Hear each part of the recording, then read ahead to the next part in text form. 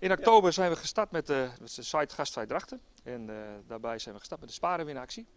En de sparenwinactie betekent dat onze consumenten die in het eh, centrum van Drachten een, een aankopen doen, bij iedere 10 euro een sticker krijgen en daarmee een spaarkaart kunnen vullen waarbij ze prachtige prijzen kunnen winnen. Prachtige mooie prijzen om daarop in te haken. Douwe is eh, vanaf zaterdag 17 oktober gaan we elke middag om 3 uur hier onder het carillon de prijzen uitreiken.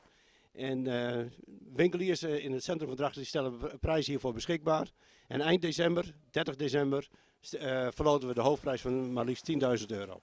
En zo zet Drachten zichzelf weer op de kaart. We hebben een prachtig mooi centrum. We hebben een heel breed winkelaanbod waar we heel erg trots op zijn. En ik zeg het tegen alle consumenten, koop alsjeblieft lokaal en steun je lokaal ondernemer, want we moeten het samen doen.